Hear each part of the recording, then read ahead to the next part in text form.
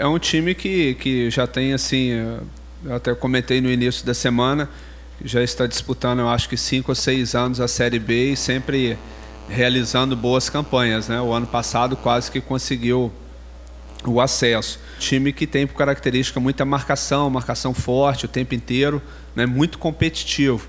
E, e, tem jogadores também de boa qualidade técnica, né? O caso do, do Klebson, que, que voltou esse ano, é, o Radamés, que, que também retornou, o Márcio Diogo, que eles contrataram agora, que já jogou aqui no Sampaio.